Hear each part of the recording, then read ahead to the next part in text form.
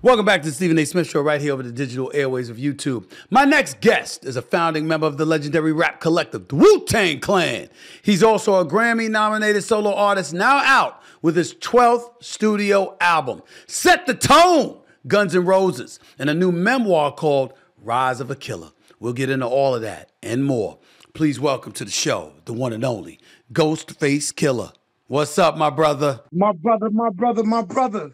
Everything is good over here. God bless. Everything is good. How about you? Damn right, I'm doing good. I'm talking to you. That's what I'm doing real good right now. That's right. That's let, right. Let, let, let, let, let, me let me get this out of the way, man. Uh, How are you feeling about life right now? You got a memoir coming out. You got an album coming out. What's life been like for you, bro? I mean, it been yo. I'm blessed, man. You know what I mean? I, I can't ask for nothing more right now. Um, you know, I worked hard on a, on the album, you know, in the mix of the Wu Tang tour and stuff like that. So I have to run in the studio, come back out, you know, get the time off, go back in and work that out. And then at the same time, when the COVID kicked in, I was writing the memoir and um Rise of a Killah. And um everything just so happened to come out at the same time. And then my first interview with you. You know what I'm saying?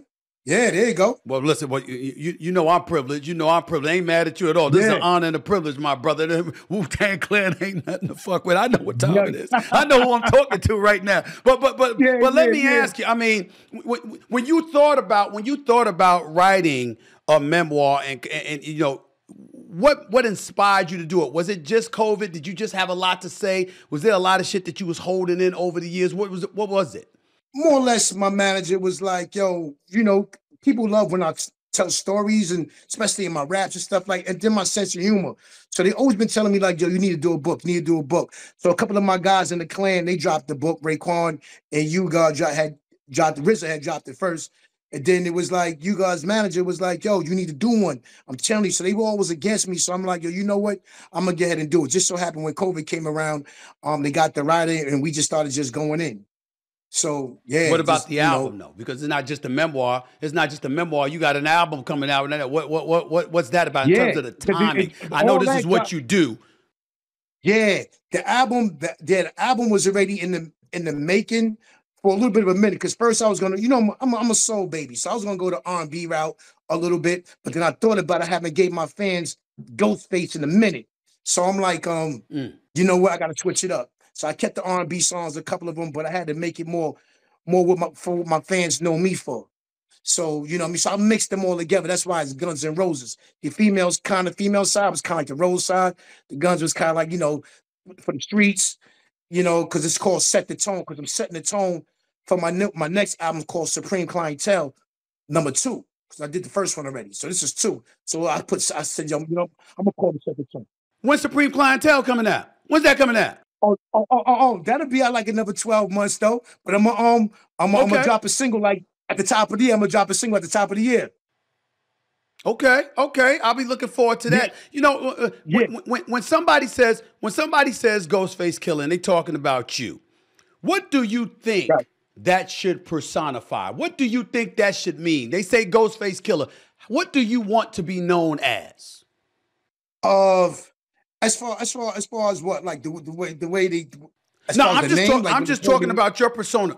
S- s- somebody looking at you, somebody knowing your work, knowing your history, knowing what you bring to the table, and then co- you know Yeah. juxtaposing that to this day and age, what we living in now. What do you I mean, want just to be that- known as? How, Nah, just just just for me putting that work in. Just putting that work in. You know what I mean? Like when you Mhm. get to know me, you get to understand. Like the name might sound sound stronger than than than you know when you meet me and stuff like that. But you know, I'm I'm a very down to earth person. You know I mean? I love to like speak on you know good vibes and you know just chill out, laugh like anybody else. Like you know what I mean? But when it comes to that music, it's like it's it's different. It's different. It's it's just it's just a different whole new ball game. It's it's just deadly. So I want them to to respect my pen, to respect the work that I put out. Um, and then I'm gonna continue to put out through the grace of God and um and my vision and my legacy. Mm. You know what I mean? So Right. that's that's that's Ghostface right there. That's Ghost. Yeah, that's the one that's in Wu Tang Clan. That's him right there. That's his work. You know what I mean? So I carry that flag, my own flag, with, for my with my own lane as Ghostface Killah. You know what I mean? Tony Starks and everything. Yeah, that's there. But Ghostface is what set it off. What I love about listening to you, talking to you, and what have you is like, you know, you it's not just about wanting to have a good time or whatever, but you're a candid brother. You're gonna let people know where you stand, you're gonna let people know what you think oh, yeah. about a lot of different issues. And you've spoken about a lot of things, including the state of hip hop. And now, and if I remember correctly, you were alluding to how you feel it's lost its substance. Talk about that for a, a second. How you feeling about today's hip hop industry, and when you make a statement like that about it losing its substance, why do you feel that way? Um, because I remember coming in and even listening to the greats, it was like we had something to say. We had, you know, it was character. We had topics. I feel that we lost a lot of that, and and and um, like everything is more like simple now. I know things never stay the same, so it was bound to happen. You know what I mean? But things don't they don't stay the same. So you got the younger generation that's like when we did Cream and all the other songs we did, we know we talked about the struggle. We talked about it and made it still where it was still cool. And um and and those one are those are our biggest records. Now, when you look at the the generation like right now, everything is like you know naked females and it's simple rap to me. Don't get me wrong, I'm down for a black man to always go get his money, black woman and everything. But I think there's ways that you can still go about it.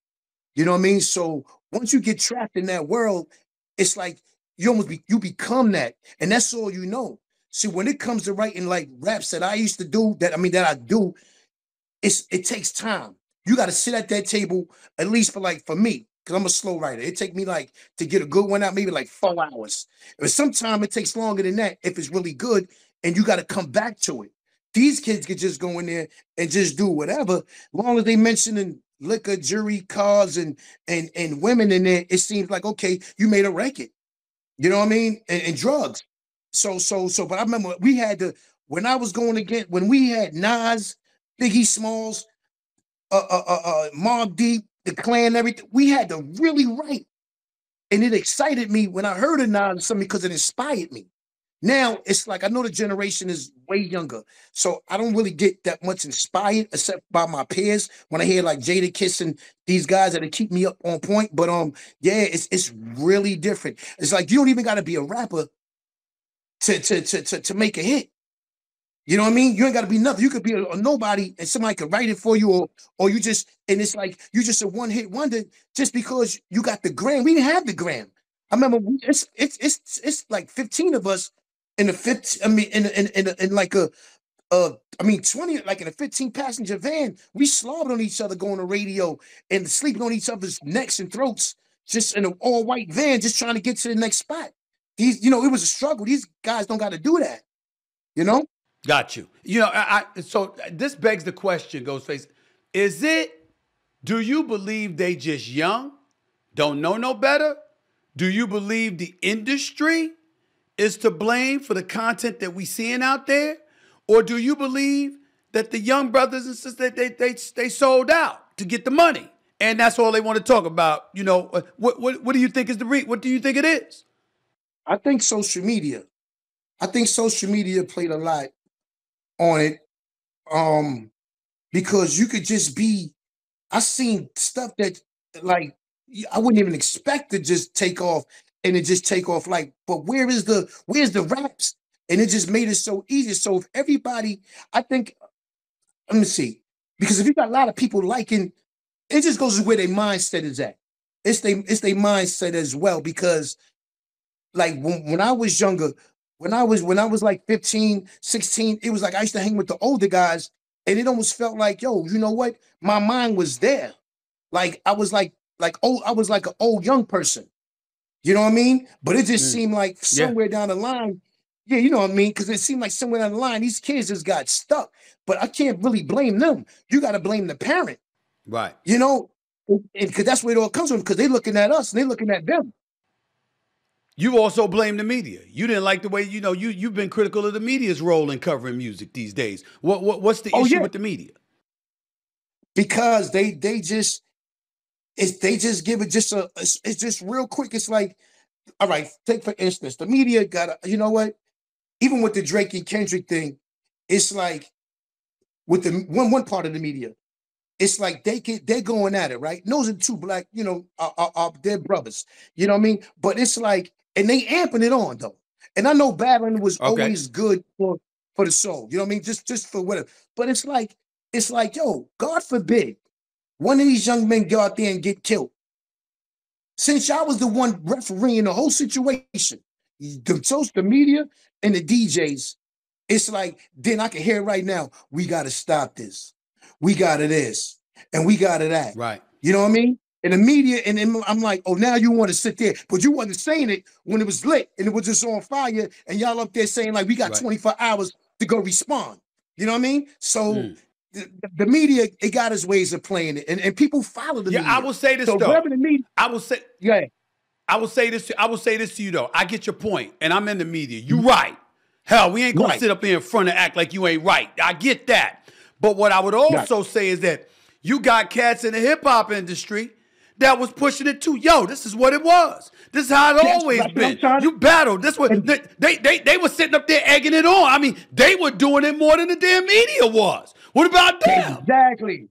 I'm reading the comments, and you're right.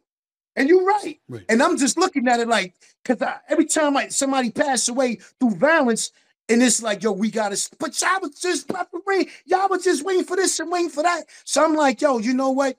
You know, I'm, let me just stay in my lane and and and you know at the same time i'm i'm glad that i'm aware of the situation and how it because sometimes some people can't see it but you know what? I can see it and i know where it's going. You know what i mean? So but um it's it's a combination of things with this generation that's coming into right now like you know what i mean? And when they doing it they getting a little more personal. They digging up receipts and this and that. Before when we did it back then you know, you know, you had your LLs and this one and that one, and it was like, okay, it seemed like it was more fun. It was, it was hip hop.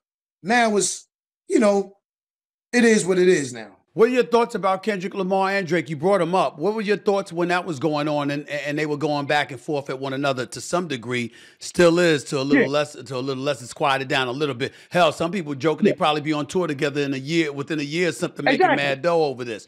What what what, exactly. are, what are you your thoughts about? What are your thoughts about what's going on? And if they do be on tour in a year from now, I'll be happy just to see those guys get ahead and, and mend that. You know what I mean? But um that's right. So I, I thought it was gonna be um because they considered like between J. Cole, Drake, and and and Kendrick, they like the top for this generation, like the top three three lyricists. You know what I mean? And to see, okay. you know, we always want to see the best, Stephen A. You know what I mean? So it's like it's like to see, oh, oh, word, you got Kendrick and you got Drake you know what? This gonna get interesting. You know what I mean? But then I'm hearing it and I'm hearing it, and then it's real personal. And then they really like, yeah, like going like like digging up old receipts and and this one, like it wasn't really the hip hop like I know when you know you had, you know. That's what I was trying to tell people. I said, yo, yeah. this is too damn personal. This is some y'all going beyond the pale with this shit. We don't need to be knowing yeah. all of this. We yeah. don't need to be knowing all of this. Exactly, brother. So and, and that's how I took it. And after a while, I had to really like, yo, you know what? It is what it is. And you know what I mean? All right, this is the new generation. All right, cool. Long as nobody get hurt, I'm I'm I'm I'm I'm cool with it. But I don't gotta like keep sticking my head in who did this and what Drake said and what Kendrick said and this and that, man. Like you said, hopefully they get on tour together and make a ton of money. You know what? Uh, when you th- when you talk about lyricists and how they they they they at the top of their game or whatever, uh, I'm gonna ask you to give me five five people. I'm talking about all time, all time. Who, when, when you when you look at it from that perspective, I mean, five, five godlike figures like yo, these these are the brothers that's been at, that should always be revered in this industry. Who would they be in the hip hop industry to you? Five? five. Five. Give me five. You you know five is really not enough.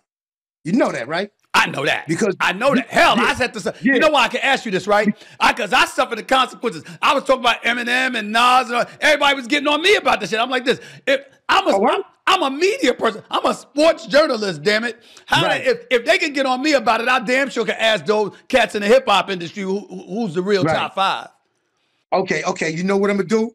I'm gonna give you. I'm gonna give you. Go I'm gonna give you. A, I'm gonna give you five but it's way more than five to me. So I don't want anybody to take it personal. All right. But I'm gonna give you I'm okay. gonna give you five that that usually that'll go make me right.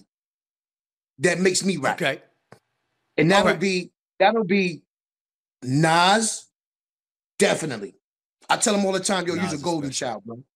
Golden child, golden Yep. child. Um, even my brother Right. Genius, Genius, Genius is like a walking, like like a he's like a a, a, a Wall Street Journal. I mean, I, I admire you when you you know because you don't taught me words. You know what I mean? Just watching you, that let me, let me go look. Let me go look that up. You know what I mean? And see what that is. right. But um um um um I'll say Nas Genius. Uh I love Slick Rick. I love Slick Rick. You know what I mean? Was one of that's where I got my jewelry from. Was Slick. I got I gotta Oh, put yeah. him in there. Um and and storytelling too. Storytelling. You Oh, know no what I mean? question. but you got gay. Whatever. Who? Oh, all right, two more. Yeah, I got um yeah, two more. I got, That's um, three. Give me two more. I don't know. I don't know. It's like you could take a Kool G Rap. You know what I mean? Because he was hard, but then but then you still got your Kane and your Rakims that start going into the other. You know what I mean? Like it's they they just there. See, I'm, I, I, I'm with Kane, Big Daddy Kane. People sleep on what that brother Yeah. was doing. You know what I'm saying? I, I, I mean, eh, listen, I'm, I'm an LL fan for life. LL, I'm an LL gonna fan for life now. yes, right. LL. Because I was about to say like you because I heard you say many times Run DMCs was you know what I mean was your guys too. You know what I mean? Yeah. And I remember when they was there, I was coming up to, together. That's right. Yeah. Together forever. All of them like yo. So I, I really that's why I said I can't stop at five. Right. Biggie too. I Biggie was understand. nice. Well, Yeah. Biggie, Tupac, LL. You look at Jay Z, Nas is all timer. People getting on me when I talk about Yeah. Nas, but MZ, Eminem because Eminem mainstream to that white audience, but but Nas is brilliant. I know this. You know, Yeah, Eric B and yeah. Rakim can never leave them out of the mix, no doubt. You can't. You not know, even K, I, I mean, not even I- KRS One. KRS One in there too. no. Got to put him in there. Yeah. Got to put him in there. No doubt about it. You know, I interviewed Snoop recently, and Snoop was talking about this is a young man's game, but he's still rapping at 50. How old are you, Right. and how long you going to be doing this? Yo, until until it's my time to go in the dirt. So my time. I might not gotta talk, but but as far see, rappers always acting like they retired. Stephen A. They be behind closed doors, right? It's like once you're once you're a writer and you're a real rapper, you always gonna be having something to say. You might see a nice, pretty apple on TV, and you might just be like, yo, you might just say something to rhyme with apple. You still rhyming. You know what I mean? But I always tell my fans, yo, listen, man, if I got a cane, even if false, if even if I got false teeth, I'm still gonna be throwing darts. I'm still throwing them, even if it's at my grandkids. I'm still going in because you I, I got love. you That's doing how much something- I love for it. You doing something that I talk about all the time. If you standing still, you ain't living. You got to keep it moving. You got to do what Right. you got to do. You living, or you might as well, or you might as well go into the ground. You you got to keep on moving. Right. You can't stop. Right. That's what I've always said. Let me get to It set just- the tone again, real quick though, because set, let's get into set the tone. Guns and Roses dropped earlier this month. Tell me about the concept and who's featured on the album. Oh, we got a bunch of features on the album. Um, the concept was just some, like I, uh, I said before, was just um, it was supposed to be an R and B album, but I, I thought about it because I haven't gave my friends and my people like this Ghostface, Ghostface, Ghostface, so I had to switch it up. And in the middle of me switching it up, you know, we did like me and Nas, Wu Tang and Nas did mad dates on the road, so I had to work in between there. Um, so uh, uh, uh, uh yeah, that's why I had got the rest of the other hard records, kept a couple of female records. So that's the Guns N' Roses. But set the tone, like I told you earlier, was just set the tone was um was just setting the tone for Supreme Clientele too. To everybody just want because they I can they say that that's my a lot of people say that's my best album to date with Supreme Clientele too. More creative and everything like that. And I could agree to some to some extent, but um um yeah, and I you know on the, the features was like you got Nas, you got you got Raekwon, you got Method Man, you got uh October London, you got Sheek Louch, Jim Jones, you got my man Ice Iceman, Bronx Man. Um, I got my man Harley on a lot of the hooks. I got Fat Joe, Remy Ma. You know, it's just, it's just, you know, I got Sharani, Busta Rhymes. It's, you know, my little man Chucky. It's, it's, it's just, it's just a list, a list, AZ, a list of names. It's a, a list of names. You made me. You made me laugh when you brought up Remy Ma because I was I, I, I was next to her at, at, at, at the Deontay Wilder Tyson Fury fight. She was pissed off. Poor, she's mad as hell that Deontay Wilder lost that fight. I was kind of mad too, by the way, but he shouldn't have gotten in the ring yeah. with somebody forty pounds heavier than him. That was it. And, yeah. and, and my man Meth, I can't. I, I, how tight are you and Meth? How much do you and Method Man keep in touch, if at all? Whatever. What's that? What's that relationship like for you? Yo, that's my brother right there. Yo, we we we tight. You know, I love I love that bro, bro. So, yo, listen, meth so cool, man. It's like it's so down to earth. It's it's like he a real one. I, I, he's a real. He's that, that's it right there. He's a real one. He he's calls me. That, he calls me. He calls me little Stevie. He calls me little Stevie. He uses it to tease me and all of this other stuff. Yeah, calls me little yeah, Stevie. You know what I'm saying? Yeah. But uh, but but he know I got he know I got mad love for him. We joke around all the time. but yo, yo, that yo yo go go yo, yo, brother, no. it, his acting on Power, I'm I'm very oh, proud of yeah. him. I'm yeah. very proud of him, brother. He doing a hell of a job. Yeah, yeah, yeah. I told him too, and uh, I congratulate all the time because out of the whole crew, it's like yo, he's the one that took it there, and he's done. he's like he could do that and still get busy. Like he just blew yes. me out the frame on one of my records. Yeah, so I'm like, I'm like, yo, Meth, like, even the guy sit there and play a lawyer and all that, like, and, and I know I know him, know him. But and I remember a slick ass lawyer though, a, a, a, slick ass lawyer, a slick ass lawyer. Yeah. That's right up his yeah. alley. He he know that exactly. But you know what? I asked him yeah. one day. I said, "Yo, how you how do you remember your lines, bro?" I'm like, but you know, he said, "Yo, you had to just, he was reading books, man. He had to read the actor's guide and this and that and the third. And I'm just looking yep. at him on the plane. So next to him, I want to pick his brain. And every time I get a chance yeah. to, like I might come to him and I might be like, yo, yo, the money was left on the docks, man. Um, um, so what are you gonna do about it, man? They've been sitting there for like three days now. Yep. You know what I mean? Nobody ain't get it yet. I need that money. What are you gonna do? It's at the dock. And just go into acting mode out of nowhere.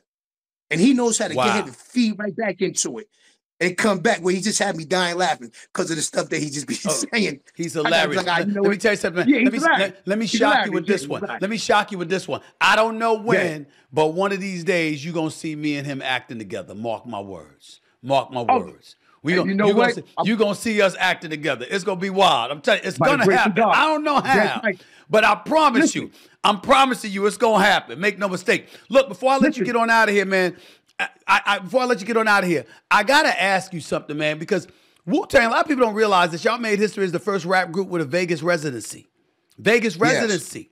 Yes. I want to know can yeah. fans expect that in the future? And and and that's real money in there. Vegas, damn it, they yeah. print money. They yeah, print they, money. yeah, yeah, yeah, yeah. Listen, we just knocked out. I think like a good like one, two, three, four, like around like four shows real quick. We got some more. We coming up in September though. But um, if these everything and everything is selling out really well, so they just wanted to test us. So they saying if it goes well with these next couple of shows, they might give us like 50 to 100 dates next year in Vegas. Wow. At, with, with the residency. So yo, it's a blessing, yo, to be here like like 30 years plus and and and to still keep it going and and and, and to see that. It's like I can't, you know, I can't even complain, yo. It's just work. I give all praises due to Most High, and um, you know, and just keep the good energy, the good vibes, and and to continue to receive with the Most High just placing upon us.